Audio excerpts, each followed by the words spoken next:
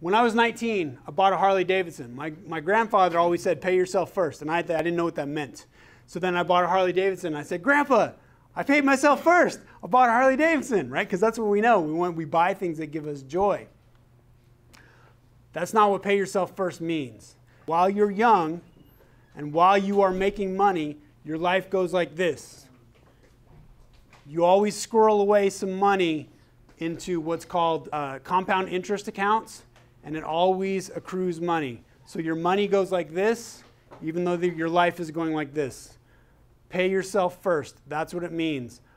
You count the most to you. So you should always put money away for your future and have it gain compound interest.